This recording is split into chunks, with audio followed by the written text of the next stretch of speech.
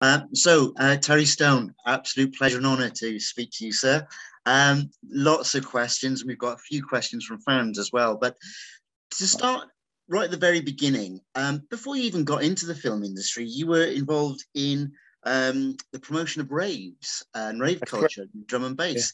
Yeah. Uh, yeah. But you left this in uh, sort of February 2003, is my understanding. What was the reason for leaving something which I presume you made a, a healthy living out of? Yeah, I think I think when people started um, shooting everybody, I think that was when I realised I should ever change a career. But um, uh, yeah, no, it was that you know when I got into the um, into the club scene in the early nineties, it was very uh, one love. You know, there was no trouble. It was a lovely vibe, and and I just think you know over the years the music changed, the drugs changed, and the people changed. And I think um, towards the end of it, um, you know, it, it, it, it, was a little bit like the Wild West. And, uh, you know, I, I, went from going to um, a rave that I was putting on, you know, with just a couple of mates and maybe, you know, a girlfriend at the time, to having 10 guys attack dogs and bulletproof vests and stuff. And obviously that sort of took the fun out of it. Um, but I'd also built up this, these huge brands, Garage Nation and One Nation. And, um, you know, I, I got, I'd sort of got to the, the end of it.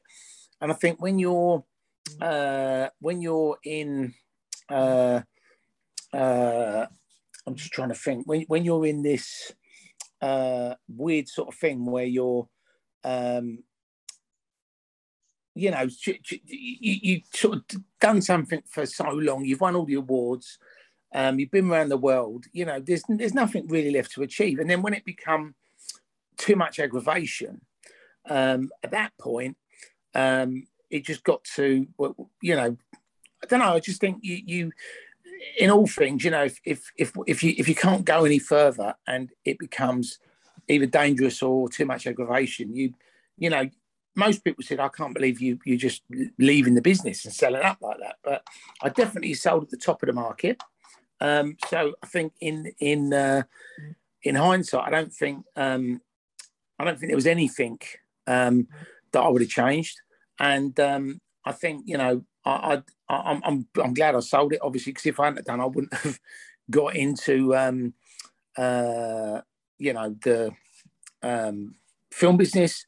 Um, you know because obviously you know when I sold sold my two sort of brands, I I I, I got paid um, a decent amount of money, and that allowed me to you know learn how to act um, and you know get get a film funded and do various things. So without that, obviously, it would have been a lot harder for me to, you know, become an actor. So 2003, you left um, rave culture behind. You went into acting. Notice your first uh, credit of all things was uh, My Family. Yeah. How did you actually make that transition? I mean, were you uh, uh, uh training as an actor? Uh, did you get an agent easily? How easy was it for you to get in? Very difficult. I mean, you know, in life, all of the things that I've done have been somebody else's fault. um, and um, you know, the only reason I got into the rave scene was because all my friends kept saying to me, "You've got to come to a rave. Got to come to a rave. Come to a rave. Come to a rave." And I was like, "I don't want to go to a rave. I don't want to dance around a field with people taking drugs." And yeah, it wasn't my thing. You know, I was boxing. I was running. You know, I was. You know, that was my sort of life. So to go into a field with a lot of people out their heads on, on ecstasy wasn't really my idea of fun. Um, but then I ended up being talked into going to one. Um, and I think if, but back then, you know, if you went out, it was like sticky carpets. Um, you know, there was a sort of start, slow dance session where they played Luther Vandross songs and you asked the girls to dance. And um, then at the end of the night, you know, wrap up at two and you'd end up having a kebab um, fight, and, and if you were lucky, you might end up with the girl you dance with take it taking her home. So you know that was a big night, you know. Yeah. Um, and then obviously well, there was lots of fights and stuff because everyone was drunk. But when I went to a rave, it was like everybody was friendly. You know, there was no trouble.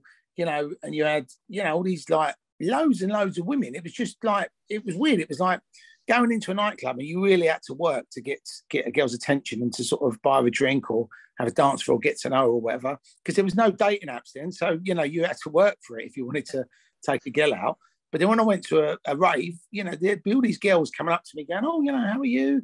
Oh, you know, let's go and have a dance." And you'd be like, "They're chatting me up," but obviously at the time I didn't realise they're all out their heads. um, but um, but you know, that's really what sort of dragged me into the into the club scene. And without those people constantly nagging me to go out, I never got into it. And when I sold my business, um, I didn't know what I was going to do. You know, I'd met um, the love of my life, who is now my wife um, and a mother to my children, and she she was sort of like, you know, you know, I'm glad you get you've got out of it. You've definitely got out of it the right time. It's getting too dangerous. Um, know, what are you going to do? Property, you know, you're going to invest in things. You're going to, you know, do something new. And you know, I was sort of like, well, you know, I've always, I think when I was 16, I wrote a list of things that I wanted to achieve or do, and one of them was to have a bar and restaurant. So um, I opened a bar and restaurant with some friends, um, and that was obviously the, the, you know I was going to become this restaurateur or you know pub king or whatever um because um, I thought you know it's entertainment, it's just getting people into a, a venue, and you know the, the, rest of it would be history sort of thing. Um, but I think what happened was um, I did it for a couple of months, and then just out of the blue, I got a phone call um, from somebody saying, I'm making a film. Do you want to be in it? And I was like, yeah, why not? Be a laugh. Now, bear in mind, I've grown up on movies, um, EastEnders, The Bill, you know, um, all of the, you know, I think pretty much everybody, either, you know, I'm 51 years of age now, but when I sort of was growing up, it was um, the birth of computer games and it was movies, you know, and, and um, soaps. That really was the entertainment. So I, I was sort of grown up and brought up on that, but I never had aspirations to be a film producer or an actor. It never even crossed my mind. And then when this guy sort of randomly phoned me up and said, "Do you want to be in a movie?" I was like, "Well, yeah, why not?" Um, did the movie, met um, some people that had just come off Snatch, um, Andy Beckwith, Scott Welch, who was a, a heavyweight boxing champion, and um, a whole host of other people from uh, Coronation Street, the Bill EastEnders people that you know to me were like massively famous because I've been watching them on TV for years, and uh, they were all very accommodating, all very nice, and they was all like, you know, you've done done a good job in this. You should maybe you know think about being an actor. And I was like, well, when I'll do that, and it was like you've already done it.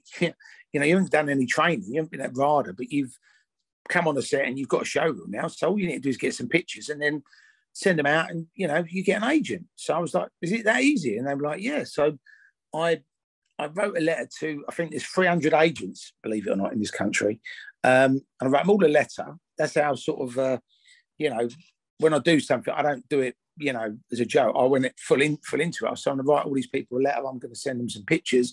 I'm going to say I want a showreel, I want representation, I'm a new actor, blah blah blah. And I actually had a few phone calls saying, "Oh, you know, we'd like to come and meet you."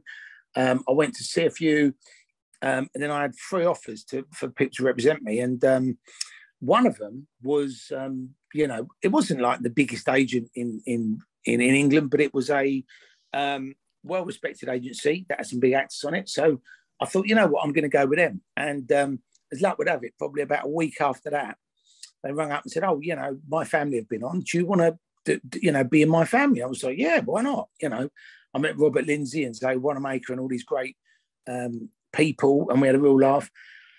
And then I got an audition for EastEnders, and did that. This film by then still hadn't come out. Um, and then I realized, you know, I had to actually learn how to act. It wasn't just a case of winging it. So um, I signed up at the Actors Centre and did, you know, four or five classes a day, studying different things. And, and I met this guy who was an American, and uh, he was um, he was doing. Uh, I met two guys actually. One of them was about the method, and the other one was about a thing called the Meisner technique, and he actually studied under Sanford Meisner. So um, I thought, you know what, I'm going to try this, and and and because I read all the books, I had probably 20 books on acting, and I thought they were too um, too academic. So you know, you had to think about this and think about that, and put yourself here and put yourself there. And, and I think when you when you're doing it, you know, there's too many things to think about. So what I liked about the Meisner technique was it was all about put your focus on the other person and then reacting to what they did. And the method was about, you know, believing, you know, what what you're doing. So everything's real. So I kind of left, I did it for, for, for two years. Um, and I, I, did a little bit of theatre, and I, I, was just doing odd jobs as an actor. And I wasn't really setting the world on fire. Um, and I remember being at the Actors Centre and sitting with some people having a cup of tea after one of the classes. And as you do, you talk, you know, oh, you know, who's your agent? You know, have you had any auditions lately? And, you know, what work have you been doing? And blah, blah, blah. And a lot of them haven't worked for like two or three years. And, and obviously I'm moaning that, you know, I'm not doing that much work and I've done more work than they've done in, you know, they, they probably think that I'm living the dream. But for them, you know, I sort of said, ah, you know, if you, if you haven't worked for two years, how do you actually live? And they was like, well, we was eight of us sleeping in a in a flat. We all split the rent, and you know, we do anything. We we do cleaning jobs. We work in bars. We work in restaurants. We just do anything we can for money. And I was just like, fucking hell, this isn't. Um, you know, I've, I've made a real, you know, mistake trying to do this career because obviously I've got a wife and a child and I've got a mortgage. And uh, yeah. I was thinking, I can't really say to her, babe, you know, we're going to move into London now and we're all going to share a flat with some other people. yeah. well, yeah. want to wait for my acting career to take off. And, um, um, you know, I was a little bit down in the dumps really. And, I've, and when I did the research, I think it's something like 95% of all actors are unemployed. So um, I really was thinking I've made it such a mistake here. You know, I've gone from running all these clubs around the world and being the biggest club promoter in the world to becoming a jobbing actor. And, you know, I'm doing you know, two or three jobs a year and I'm earning probably eight grand a year, which, you know, eight grand a year to some people is, is, you know, a good living. But, you know, eight grand a year when you've got two mouths to feed and a mortgage to pay and a life to live. And obviously every time you get a call for an audition, you've got to get on a train or you've got to drive yeah. into London, park, you know, so, you, you know, you, you know, I had money, but I just thought, you know, this isn't going to last forever. You know, this is, yeah, more like a hobby. So, so I was going to say, so talking about the auditions then, um, I've got that 2007 was the first Foot Soldier film. So how, how did that come about? How, tell me about the audition for that. But I was, but I was just going to say what, what actually happened was, um, you know, I was in this kind of funny place where I just thought, I'm going to give up acting and uh, I'm going to find a proper job and I'm going to do something else. And then I was with a friend of mine, and I can't even remember where we were, but we was out somewhere, and, and he was like, oh, you know, how's the acting going? I mean, everybody thought I'd gone mad in the in the club business because when you say I'm selling this and I'm going to become an actor, you could see them all looking at me, going like, "Are you, you sure?" Um, so um, I um, I sort of left. Um, uh, when, when, we was talking, I was I was sort of saying, you know, I think I'm knocking on the head, and he said, "What do, what do you want to do?" And I said, "Look, I really want to do movies, right? I don't want to do um, an episode of My Family or you know, do a little bit of theatre work. I actually want to be in films. And he said, well, why don't you make a film? You've been organising all these events and doing all these raves. You know, how hard is it to make a film? And I said, well, you know, you're, you're probably right. And thinking on my feet, I just said to him, I said, look, I said, if I put 10 grand in, would you put 10 grand in? And he went, yeah. So what I did was I got home and I rang all my mates and just said, look, we're going to make a film, be a laugh. We're going to put 10 grand in. So what we did was we crowdfunded a film um, and, and, it was called One Man and His Dog, and that was the first film that I produced. Um, I didn't know what I was doing. Um, it wasn't a particularly great film, but um, it was a film, and what it did, it was a catalyst for getting me into the business because people saw that film and then started approaching me, said, "Oh, you know, I've got a script, I've got a book. You know, do you want to look at my film?" Um, and um, it was a little bit like going to film school, but instead of reading books and um, you know, pretending to make a film. We actually did it for real. And obviously, um, you make mistakes, you know, things don't work out. And, and, and I think that's always the best way to learn because in life, you know, anyone can teach and anybody can read a book, but actually doing it is where you sort of learn and you, you get, you get the, you know, how not to do things and how to do things. And, and uh, after that, I got contacted by a friend of mine who, uh, again, you know, once you get people start going, oh, he's making films now, he's doing this, he's doing that, then you get opportunities come along. And a friend of mine rang me up and said, have you seen Boys in the Hood, New Jack City? And I said, absolutely, I've you know grown up on them. Um, and they said, well, why don't we do a British version? So because of the music that I used to promote, obviously I was connected to all the top urban artists and all the up and coming urban artists. So we developed a film called Rolling with the Nines, which was going to be made a slightly bigger budget, but it was still a low budget. um, and we got people like Dizzee Rascal to appear in it. Estelle, Kano, you know, big names from from from that sort of urban music scene. And um, that film got BAFTA nominated. It won Raindance, but again, it was like another step up. So if you looked at those two films, you'd have gone, "That's definitely his first film."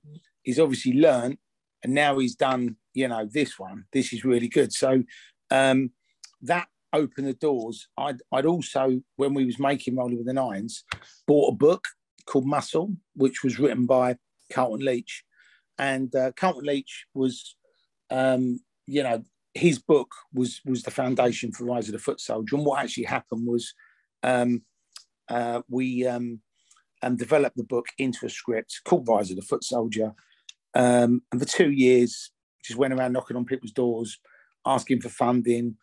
Nobody was interested. You know, we, we had Craig Fairbrass um, attached as Pat Tate because um, he looked, you know, a little bit like him, and we just thought we need a big guy who's got an edge to him. Um, and uh, people just used to say, you know, um, you know, the film's not going to work. You've got a bloke from EastEnders in it. There's no actors in it. You know, you need to get some proper stars in it. Blah blah blah. So overall, God, it was just like no, no, no. And then one day, just bumped into some guys who were mad West Ham fans. Um, they loved the script, and they sort of said, "Well, we're fund the shortfall on it, which was about a million. Um, and I remember leaving the meeting thinking, this ain't going to happen. This is bullshit, you know. Because when when someone says they're going to give you a million pounds, you you always sort of like look at them and you think, well, just like that, you're just going to give me a million pounds. Um, but I did do it, and we did make the film. So um, again, if I hadn't done that step where I did that first movie and I had gone on and done another movie, then I would, and, and if I hadn't gone knocking on all them doors and being persistent with Foot Soldier, that would have never have happened. So, you know, it just shows that, you know, you have to, if you do anything in the film business, you've always got to be patient and look at, you know, it might not happen in six months, yeah. it might not happen in six years, but it will happen. You just have to be patient. So the, the Foot Soldier films have really taken off. And um, I uh, spoke to uh, Craig about the last film, Origins, um, and yeah. something I, uh, I asked him because of his background where he grew up, and I, I'll ask you is that um, these films are quite violent. They've got increasingly more violent and brutal as they've gone on. Uh, from your own background, in that scenario, could you handle yourself? Um, absolutely, but I mean, to be honest, you know, when I was doing the the clubs, you know, what you got to bear in mind when I was going into London, um, I was um, I was like a 20 year old kid going into London, putting on big roads for 5,000 people. So obviously I was I was pretty ballsy back then. And, um, you know, I, I, I, really just, you know, I had nothing to lose because I lived on the council, so I had no money. Uh, and obviously, if you've got nothing to lose, it does make you, you know, quite dangerous. But um, my idea of, you know, going around having fights with people or, you know, telling people how hard I am, I've got zero interest in that. I, I, am not interested, you know, I, I, wouldn't want to have a fight with anybody, but if if it come about and I had to do it, then I would do it, you know what I mean? But um, I think when you turn 30, you know, you calm down and you realize that, you know, fighting is just a stupid, you know, there's there's no payoff. You know, you hit somebody and, you know, they fall fall wrong and you can end up in jail you know, or you know, they could hit you and you could fall wrong and you can end up in a wheelchair or dead. So you know, I think you know, fighting is is a mugs game. So I, I avoid it at all costs. But if if I had to do it, um, make no mistake, I would be able to do it, and I'm quite good at it. I'm not going to test you on that one, Terry. Not going to test you on that. Right. Well, um, we had a few fan questions uh, sent in to us. Now, um, yeah, there's some interesting questions here. I'll ask you the first one please don't take any offense. This no, is from fine. a fan. This is from I've a heard fan. Them all. Oh, so you know. well, you may well have heard this one then. Um, and this is the most popular question that we had uh, sent in to us. So the question is, um, what is going on with that wig that you're wearing in the films? Well, does it make you laugh, right? If people always say to me, "Oh, why do you wear the wig?" Oh, it looks silly. You look like a cross between Boris Johnson and Donald Trump, yeah. And there's another guy, Fabricant, or whatever his name is, Michael Fabricant. Yeah. So That's it, I'm yeah. like, those three people. But um, I think I think the reality is if you if people actually bother to Google Tony Tucker Essex Boys, they would have seen how bad his hair was, and um, you know it, it, people should call him Wiggy. That was his name, you know, and uh, I think people were absolutely terrified to say to him, you know, Tony, I think you should get your hair cut, or I think you should change your hair, um, yeah. he probably making it very well. Um, but you know, if you look at the pictures of um, this character, um, you know, he, he, had the worst hair probably in gangland history. So, um, you know, and I'm sure they could have made the wig slightly better in some of the films, but you know, I think the wig is what makes the character, and you know, um, everybody, you know, comes up to me and says, you know, about the wig, the wig, the wig. But I suppose, you know, if it if it makes people happy and it entertains them, then you know, I'll wear it. I'll, you know, I should get one, shouldn't I? I should wear it uh, more often. oh, no, don't get one as bad as that one. Go. I could do a wig, one man wig show talking about my wig. so the other um, question that, and this one quite surprised me. Uh, certainly, a lot of guys with um, an interest in specialist interest films, should we say? Um, but the guy, uh, quite a few guys have asked. Um, you've got a lot of porn stars uh, in supporting parts, or several porn stars in the supporting oh. roles in some of the Foot Soldier films, and I think One Man and His Dog as well. They're just wondering how did that come about? Well, no, I mean, uh, do you know something? I can't remember who was in One Man His Dog. It was in 2003, so well, that was like name, the names I've been given are yeah. right. Where are they? Teresa May. Yes. Misty. And that's obviously that's obviously not the MP. no, no, not the MP. No, I think, I think this is before she got into politics. I know you meant Theresa May. Yeah, Teresa May, uh, Misty, Misty McCaine, and yeah. uh, an obvious porn star named Emma Butt. um, so, so in answer to your question, what it and this is how it all come about. Obviously, when you're doing a film like Foot Soldier, and the script says um, the, the, the woman gets her tits out or her fanny out, and people are, are sniffing coke off her tits or or whatever the scene is. If you're a serious actress and someone rings you up and says, "Would you like to come on the set for, for, for one scene and just be naked and have people sniffing coke off your tits?" there's not a big queue of actresses that want to do that, and that's just being brutally honest. And um, you, you know, then she's I, not crying out to do that role. well, no, they, I, I, just think you know, um, a lot of actresses don't want to do nudity. Um, a lot of actresses are, are, all about empowering women and are all about um, strong female characters. And I think if you say to them, look, you know, you're in a lad's film and you've got to get your tits out, it's a little bit crass. And I think um, you know, you, you, you know, I wouldn't want uh, um, an actress to come onto one of my films and actually, um, you know, think, oh, uh, you know, I, am only, I've, I'm, you know, I, I, just think it's it's just bad taste, you know, and I, and I think um, I've I've over the years because of the films that we've made, there's there's a lot of when we do premieres and stuff, there's a lot of models, there's a lot of actresses there's a lot of reality stars. There's a lot of porn stars that watch their films. Don't ask me why they just do. And over the years, I've, I mean, I met one um, porn star when I was at the Marbella Film Festival um, called Ava Koxxx. And um, I didn't know she was. And she's quite tall. Um, and she's got this really thick Man- Mancunian accent. And she came up to me and she's going, "All right, Terry, you know, I love your movies." And I said to her, I said, oh, I said, um, I said, I said, um, what do you do? And she said, she said, I'm a fucking porn star.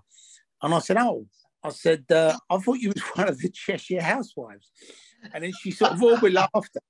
And she went, I'm not a fucking Cheshire housewife. I have been a housewife in the film. I've not been a Cheshire housewife.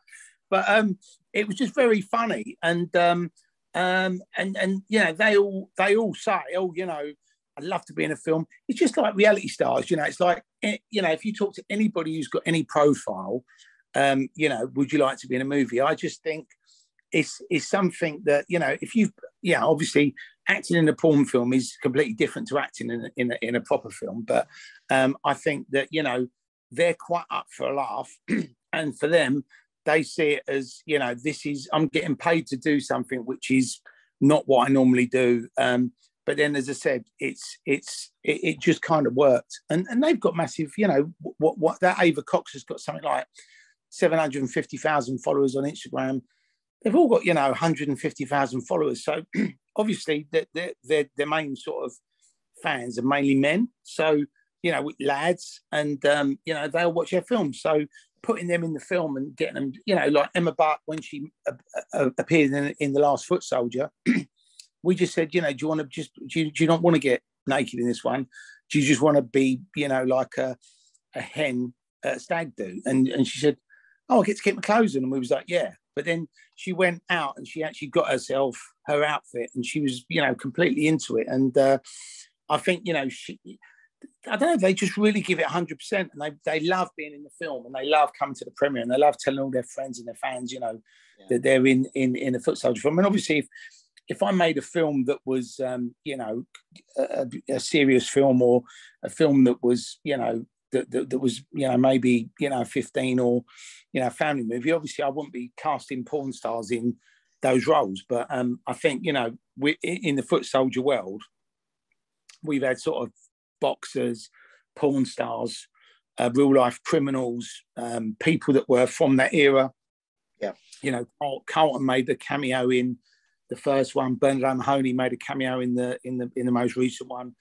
Um, and you know, I think it's all just taken in jest. You know, it's not we're not it's, we're not taking ourselves too seriously. But um, you know, that's why you know they they appeared in the movie just purely because you know they were struggling when they were sort of sending the script out. And you know, if you're an actress and you you know you, you want to build up your um, uh, your CV, you know, being in a film where you're you're getting your tits out, or you know, someone sniffing coke off your bum or something. It's not something you're going to probably want to put on your showreel, you know. So um, I think that that that's the other reason why, and and also, you know, you when you approach the agent, the agents don't even pass it on. They just say my client's not going to do that. So um, I just think, you know. And, and we can't not have that in the film because you know the foot soldier thing. The whole point of it is it's 18 it's violent, you know, it's it's just crazy, you know, and uh, and it and it pushes the boundaries, and that's what makes the, the film so good. If if they were done in a sort of politically correct manner, where all the girls, you know, kept their clothes on, and the guys didn't say cunt every two minutes. I mean, a friend of mine the other day said he said, "Oh, we we played a really fun game over Christmas." I said, "What's that?" And he said, "Well, every time." Anybody says the C word in the film, we have a shot. And I said, Did you get through the whole film? He said, No, we can only get like, into the first 10 minutes. But, um, but you know, it's funny. I mean, the, the foot soldier's been a, you know, it's been a phenomenon. I mean, you know, it's 19, well, no, when was it? 2000 and, 2007. 2006 was when it was made.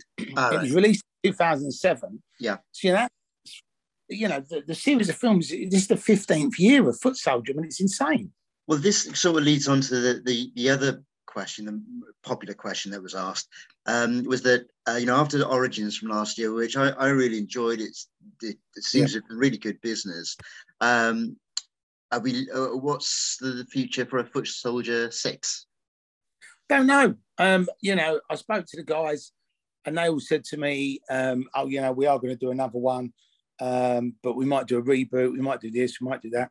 And I, I don't think they've made any firm decisions, but I think the, the, the big issue with the franchise is because if you speak to anybody, you know, they like it because of the three guys. So I think if the three guys aren't in it, um, it might not be something that people want to watch. And I think, and I think you, you know, the people going you know, it's a little bit like Carlito's Way.